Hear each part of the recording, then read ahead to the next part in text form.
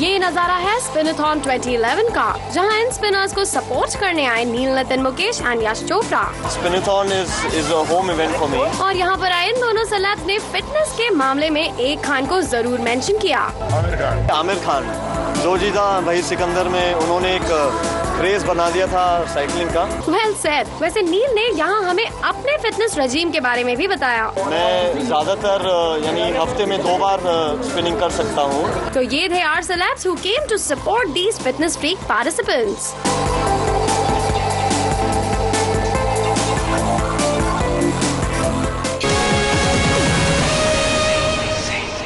Jose.